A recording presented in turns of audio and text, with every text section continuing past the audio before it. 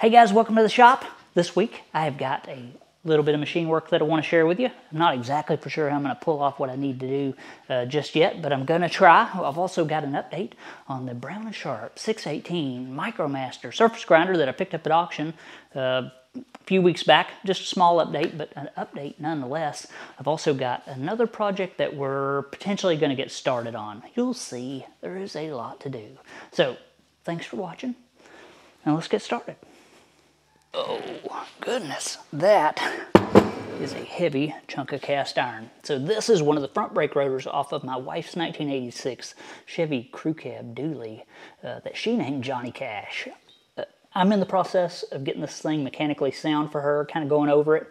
This is one of the front brake rotors, and both of them need re they need resurfacing because they're just this thing's set since 2003. At least it's been off the road legally for 20 years. So they're a little rusty to say the least.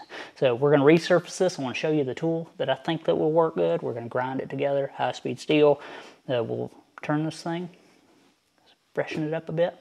Just going to lightly dust it and then move on to something else. But that's a heck of a rotor. I'd rather resurface it than have to buy a new one. So bear with me a minute while I explain to you my setup and what I think that I'm going to do to get the most accurate job on these. Uh, because I don't have a dedicated brake machine, all I'm using is a standard engine lathe. Um, I don't have all of the tooling that you would normally see in a brake shop to set up things like this. So what I could do is just hold the end of this in a four jaw, dial in, running off the old surface here, but I don't think that that's going to give me the most accurate job because this could be warped or, or, whatever. So what I believe that I'm going to do, because there is a small chamfer on this side, on the bearing race, and on the other side, I think if I uh, put a setup in my lathe where I can hold this between centers using the spindle bore of this uh, rotor as a reference, I think that's going to give me the, probably the most accurate uh, accurate job because if I try to dial in off of this. It could be warped. It's all rusty and crusty. I think my best bet is to reference off of the machine work that was done in the spindle of this, uh, this thing. At least that's my thoughts anyway. So I've got a large piece of industrial shafting here and all I'm going to do is hold this in the three jaw and then use the compound of the lathe to turn a 60 degree taper on the end of this that'll fit in the back of that brake rotor. And because I'm turning it in the lathe with, and not going to pull it back out, it'll be extremely accurate. It's a great way to to make just a temporary center if you're if you're wanting to turn between centers and you don't have one that slides up into the uh, the headstock of your lathe, you can just spin one out. Spin it out, it'll be as accurate as it can be because as long as you don't take it out of the chuck, it's, it's just a great way to hold things in between centers, especially on you know temporary setups or just a few run parts anyway.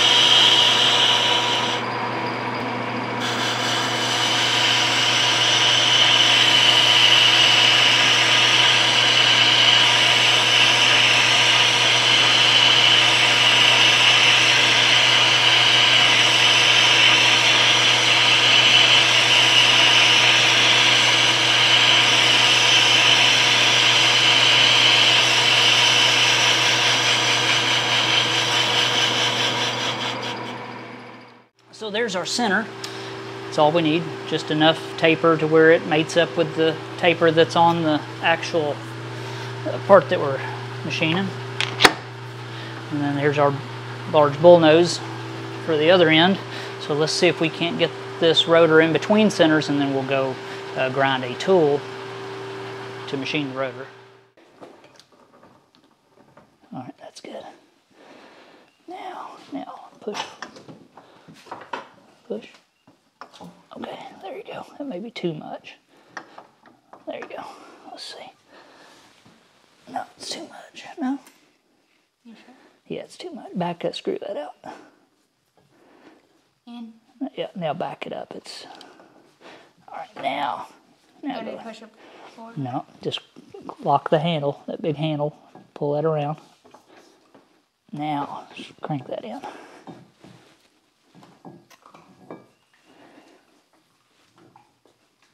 Vivian, stop wiggling. It'll center. There you go. That's good. I got it for now. Thank you. I appreciate the help. I just couldn't do that without bumping everything around by myself. So I just got done digging through my high-speed steel drawer and I found this previously used piece of 5 8 Momax. It's a Super Momax Cobalt.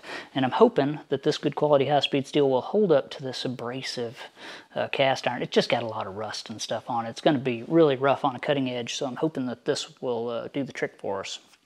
Also want to keep this piece as, as big as possible so it wicks heat away from the cutting edge because we're not going to be using coolant.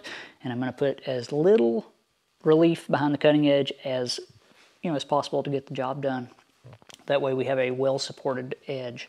So let's go over to the grinder. We'll talk about the profile that we're going to use. And then uh, we'll come back over here and hopefully knock this out. What do you want? What is it? What do you want? Hmm? You want to go outside? Go outside? Okay, I'll let you out. Come on.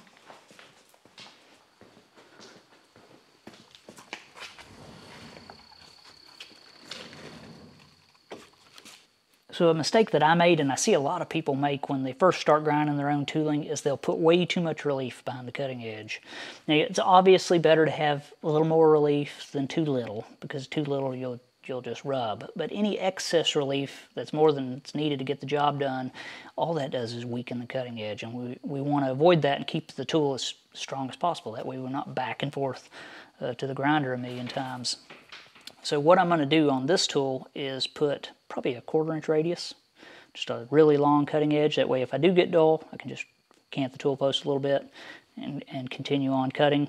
I'm also going to put a couple degrees of rake in this thing.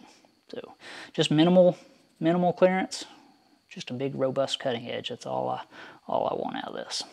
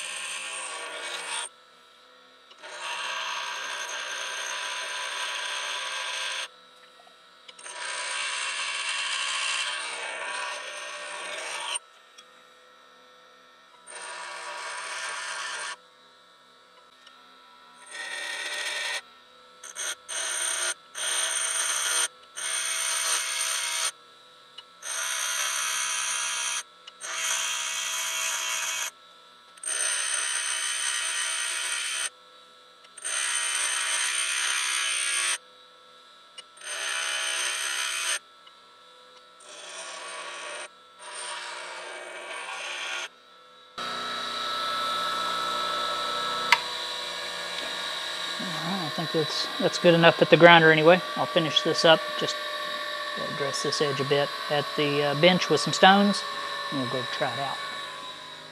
So if you want to,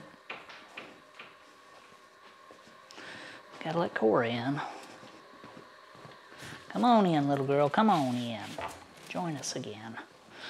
So if you want to check for relief and you got a surface plate or a piece of glass, whatever, a square, or anything really, you can uh, just set it on there Cora, are you trying to help? Set it on there, and as long as you have light, your, as long as your cutting edge is first thing that's touching the square, you're good. You got uh, clearance all the way around wherever you plan to cut. You should be good. We got more than enough in this. So that should work. So I've got the tool in the lathe here. Here's a problem that I didn't forecast, and that is clearance is a big issue here. It took me about 10 minutes to get this tool in a position to where I can travel across this entire surface without the compound hitting the, uh, the end of the, of the of the rotor here because it's all one piece. It doesn't come apart and it's pretty large actually for this lathe. Um, it's just one of those things that uh, you run into when you're machining. Sometimes getting enough clearance to get the cutter to move where it needs to is a lot of work and can take half the time of the entire job. Uh, so I've got it set up to where I can cut this side, but the, another issue is that the uh, cross slide here can't move under this rotor. It's just too large for, for me to have to move under there. So I'm to have to, once I cut this side, I'll have to flip this rotor around and, uh, and cut the other end. Or take it out, maybe move the carriage all the way down and then put it back in. maybe. I don't know. We'll have to see. I know I can cut this one side. All I want to do is dust it. So let's see if we can do that and then we'll try to get the other side. How about that? All right, so it would help if I hit record, but you didn't miss anything. Just barely touching across the face of this thing. I'm power feeding in, running 17 RPM.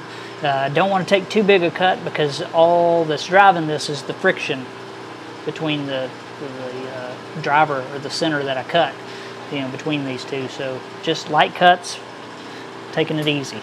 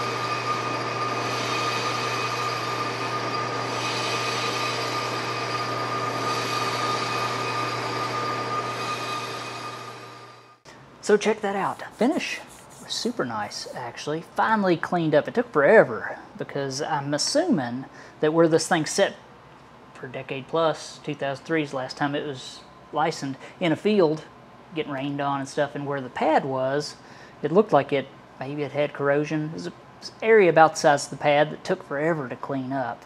I guess some water got between there and just ate the rotor more than where it would air dry elsewhere. I don't know. But uh, the minimum thickness on this is what looks to be point or 1.4, uh, either 6 or 8.5. It's hard to tell. And we are already below that, and I haven't even cleaned up the other side. 0.1447. So, unfortunately, this thing is out of spec, and uh, Johnny Cash is going to have to have a uh, brake rotor at least on the passenger side. But this will get us on the road. Um, you know, we'll be able to test drive and stuff, but eventually we're going to have to replace this guy. It's going to be too, it's already past its minimum thickness. So we'll see. You know, we'll run this thing, see how it does. Maybe, knowing me, we'll run it for a long time. But really, uh, she's going to have to get a, a rotor for the for the passenger side. We are going to have to get one. So.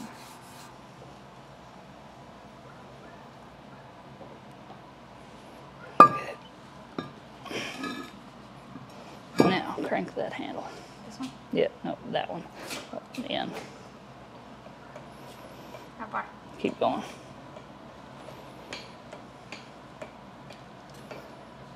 All right, that's good.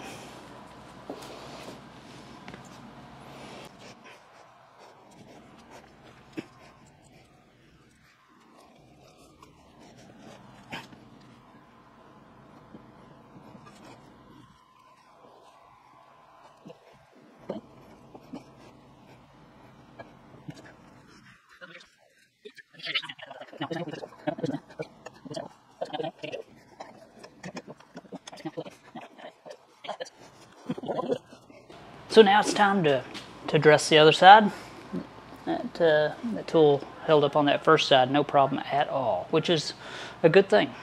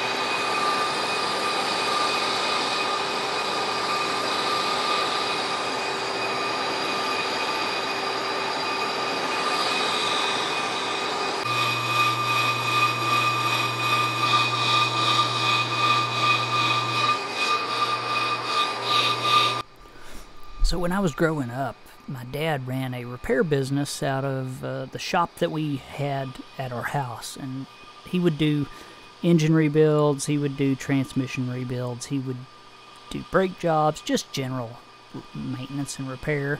He was a pretty much all-around type of guy. But I can still remember the sound of the brake drum machine that he, he still has, brake rotor machine. I think it was made by Bear. The sound of it getting out of round rotors back into round. I can still hear it through from the kitchen of the house that I grew up in. That sound of those brake rotors turning, um, and it brings back a lot of memories. The sound of a brake rotor turning. I, I know it doesn't mean nothing to most people, but to me, you know, it, it brings back a lot of fond memories as a kid, watching my dad tree these things up in our shop at home.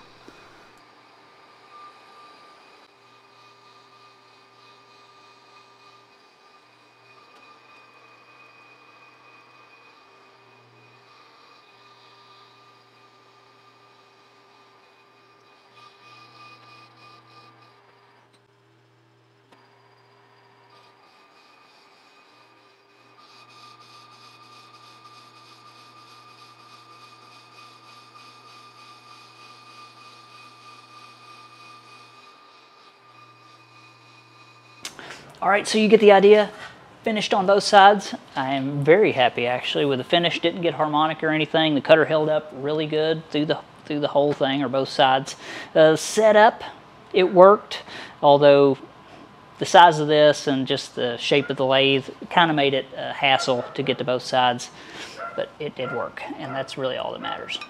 So our final thickness, 1.428, uh, 1.4 six five or eight five, I can't tell, is the recommended minimum thickness on this thing. So it was it was past that anyway. So really, this will just get us to where we can put it on there. We can test drive the vehicle, you know. But when it comes time to do brakes, this thing's going to have to be uh, replaced. But you get the idea. Sometimes you just got to do what you got to do. This worked less than ideal, but it did give me the desired outcome, which is a nice parallel, two nice parallel surfaces with a good finish on both sides that are not all rust pitted uh, to death. So there we go. I am happy with the way that that worked out, even though it was a bit of a struggle uh, to get it done. So when tightening up wheel bearings, I like to just snug them down good, make sure that they're seated. I know the I never pulled the races out of this uh, this spindle or this hub, so I know that they're seated good. So I'm just going to crank that down to its. I know it's good and seated. And then I'm going to back it up.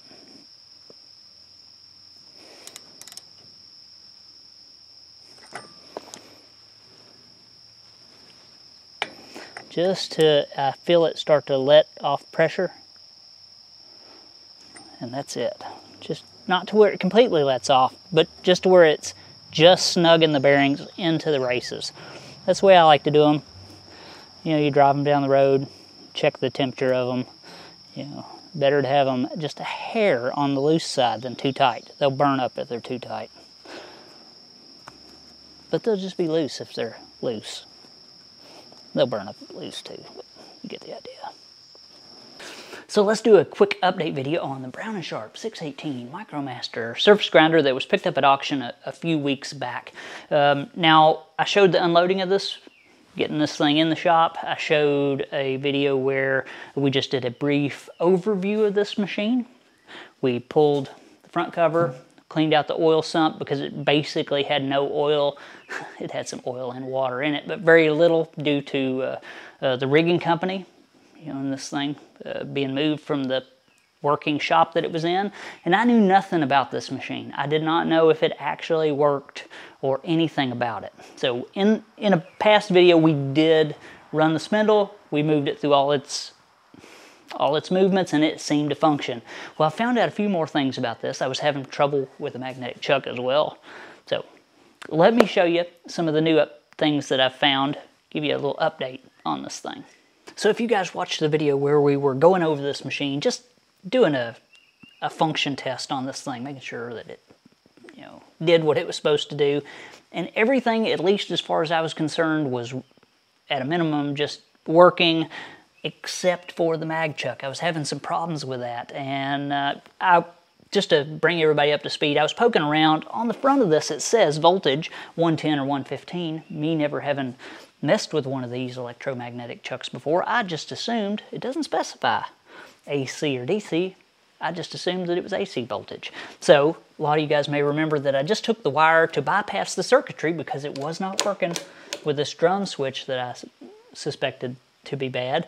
I took the wire that directly runs out of the chuck, bypassed all that, put a 110 volt plug on it, plugged it into a known power source, an extension cord that was actually had power to it.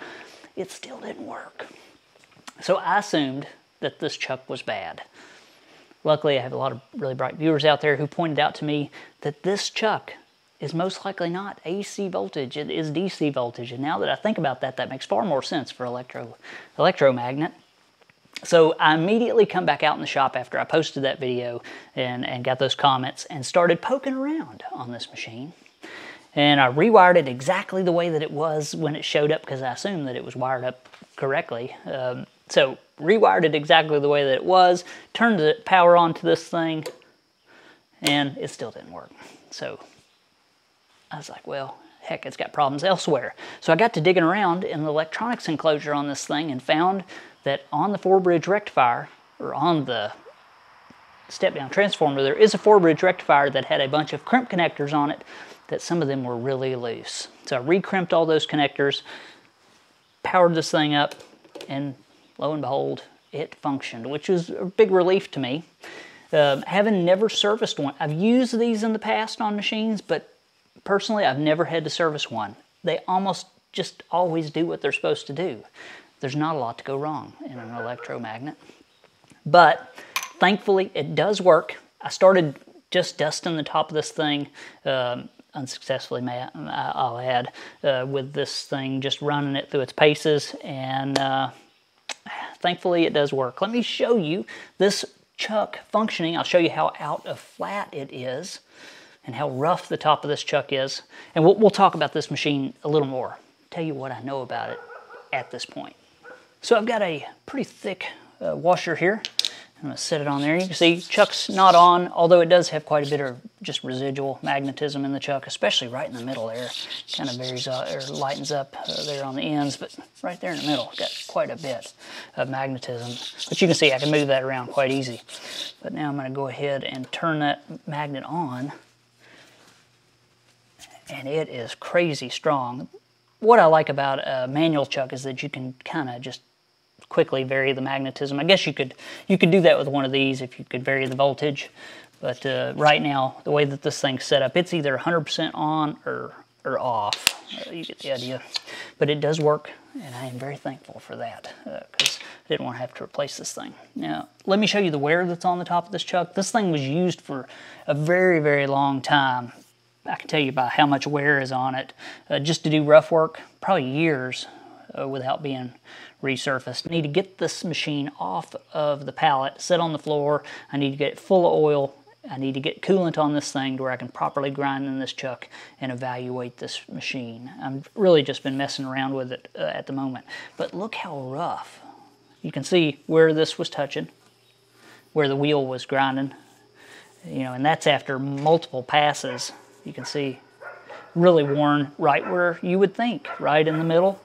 Uh, you know, it's not worn so much out on the ends where people don't use the chuck as much. So pretty substantial wear. I'm, I'm guessing it's a couple thousandths at least low. Got a couple places where somebody's, you know, dropped the wheel down into the chuck a bit. But uh, at least it works. Let's dress this wheel a bit, dust over this thing. I'll show you show you it working because it does, thankfully. And uh, and you know we'll talk a little more about the machine.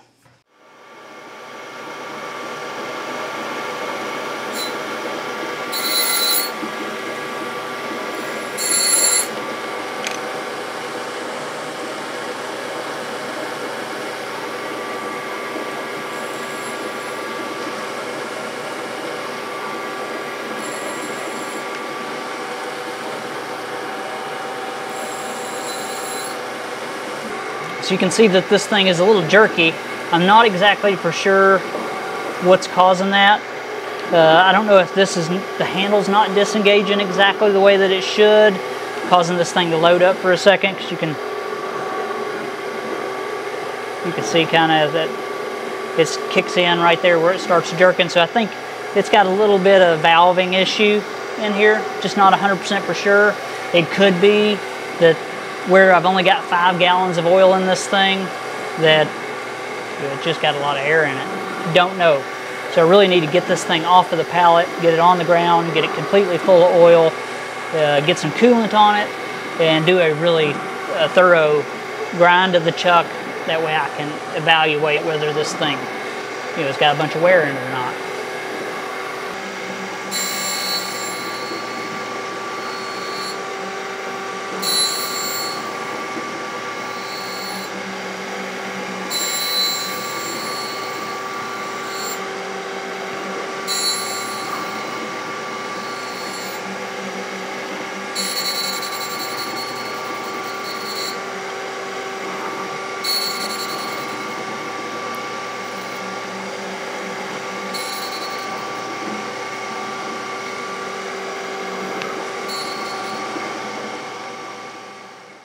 All right, so fast forward at least an hour. I've probably went over this chuck 20 times, just trying to remove as much material as I can uh, for the time when I go to really try to surface this truck. I'm just truck. I got truck on the brain. Chuck, because it was so worn. You know, I just kind of blasted over this thing as slow and as fast as I can, if that makes sense, and not completely burn this thing up. I do have a few little spots where you know the wheel was filling up and and uh, and starting to streak, and I just said, okay, that's enough because I believe that the spindle on this thing is good. It leaves a great finish wherever you try. Um, and I think this machine needs to get off of this pallet. It needs to be filled up with fluid it needs to have a temporary coolant system put on it, and it really it really needs uh, this chuck ground in and then a set of test blocks ground on it. Uh, the spindle I think is fine, like I said. Uh, the chuck works. It does move, although I believe it has either a valving issue in the hydraulics, maybe an O-ring or something's out of adjustment. I, could be air in the system where this thing's not full, causing the table to jerk around a bit uh, because it moves, I mean, as smooth as it can move by hand, but under hydraulic uh, uh, power, this is not disengaging properly.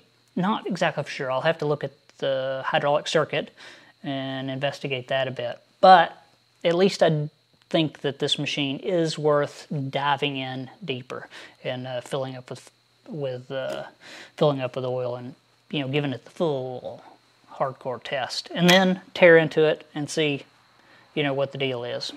So I've got a modification that I want to share with you that I'm going to be doing to my Cincinnati 24 inch metal shaper. Now I've wanted to do this for a long time. I've just decided I've had enough. Now, the problem with this machine, or the perceived problem, is that it doesn't seem to be getting enough oil to the box section of this machine. It has an automatic oiling system. In the base, there's an oil pump. It pumps oil up to this tower, and then it gravity feeds through a bunch of tubes down to the rest of the components on this machine. It does oil the ram. It seems to oil that plenty. It does oil this big pivot arm in here. I'm happy with the way that the main casting gets oiled. What I'm not happy with is the way that the box, the ways, the column, whatever, the lead screw, I've just never been happy with the amount of oil that this thing supplies to automatically to those to those places. I've cleaned out all the lines, I've done tests, I've just it's just never been enough to make me happy. So I always resorted to an oil can, hitting all the spots that I can, and some of them I cannot uh, hit with an oil can, and I'm just hoping that they're getting enough. So let me show you what I plan to do. I am going to leave this section automatic, and I'm going to make this section a manual oil section. Let me bring you in, I'll show you what I plan to do. So I believe this machine here is one of the last year models that uh, Cincinnati had a gravity feed oil system. They eventually went to a pressurized oil system and they went to a, an electronic clutch. This is manual clutch, gravity feed oil system. So the heart of the machine gets oiled first, then it comes down, it comes out of this, out of the main casting into this hose. Oil is supplied to a little manifold here that hooks to a bunch of tubes, and those tubes run to all of the components, the lead screw, all of the machine surfaces, the, the nuts on the end of the lead screw on both sides. It goes to quite a few places uh, on the box section of this. And uh, what I plan to do is to just cap off the supply from the machine and put a pump oiler uh, in, in this line. That's kind of the idea. Uh, that way I can control how much oil this thing gets. I can hit it, you know, and, uh, and it'll be good. That's what I'm hoping. All right, so let's see if we can't pull this line off. Cora, are you trying to help? Yeah, I know. Oh, bend down. She thinks you're gonna, gonna pet her. Okay. So we'll pull that off. Got a quick coupling there. It does have oil in it. And then we got to pull off this elbow here and cap this end of the uh, of the supply. Watch out, little girl. You're getting oil all over everything. Ugh. These are by far my favorite pliers. These are the Knipex Cobra. I've got a set of three of these. Quick to adjust. They got really sharp jaws on them. Very, very nice. Great for stuff like this.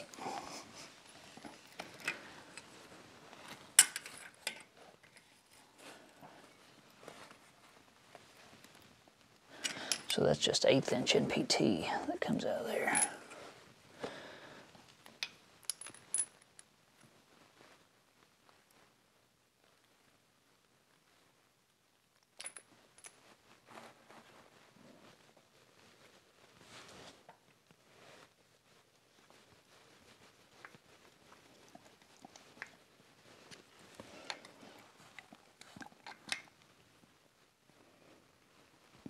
Go. Got that capped off.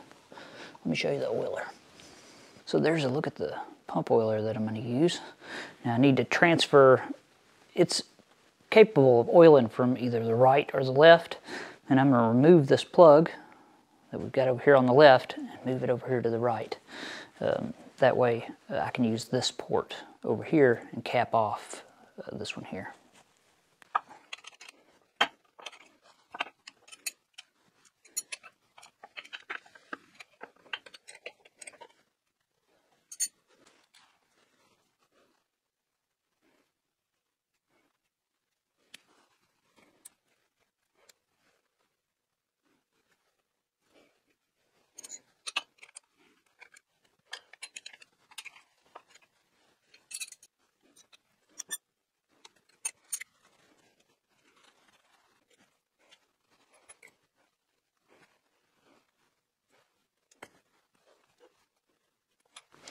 So I have to position this in a way to where I get full travel on the, on the knee, whatever you want to call it, the box, and I want to be able to open this door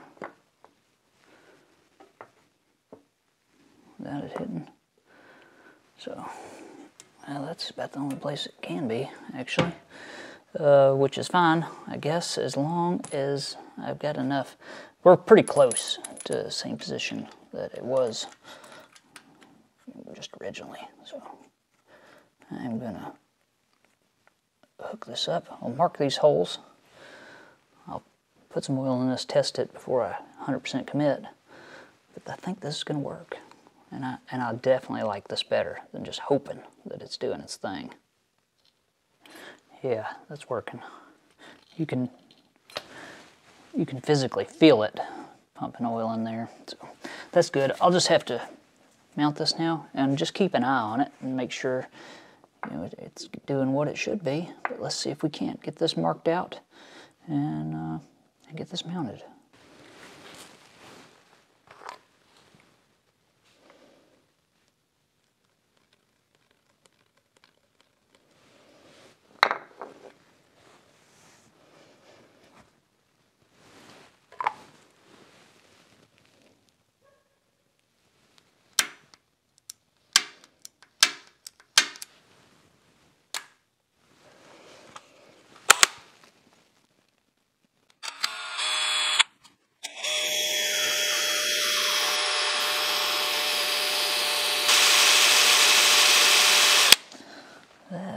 Drill bit dull.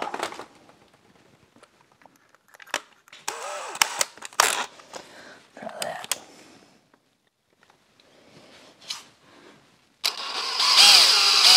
Nice.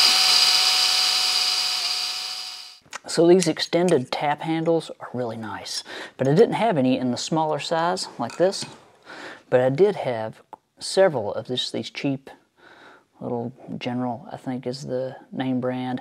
And all I did was I cut it right at the at the lip there.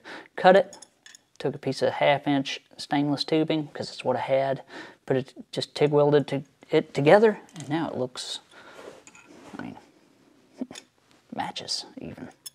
So that's a little project. If you want to make you some extended tap handle wrenches out of your really short ones they're very handy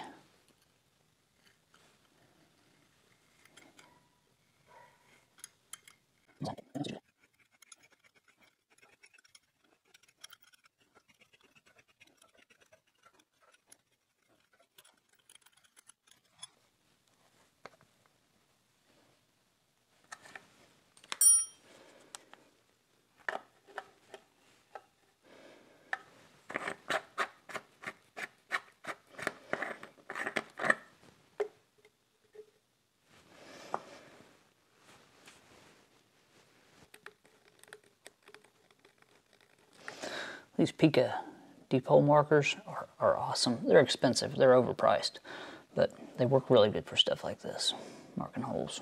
That's kind of what they're made for. Hey. Let go. You gotta let go. If you want me to throw it, you gotta let go. Let go.